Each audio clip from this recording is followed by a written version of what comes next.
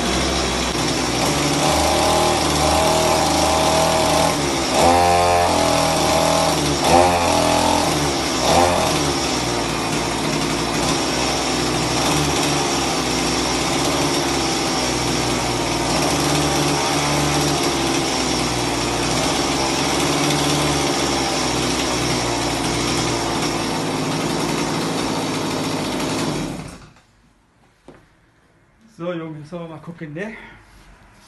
Ja, sieht doch schick aus. Ja.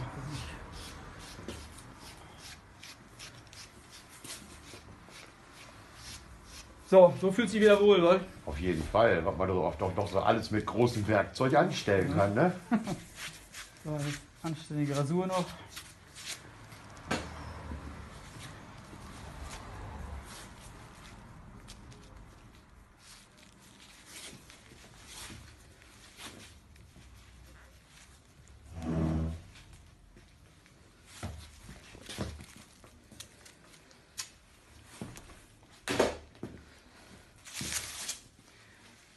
Y voilà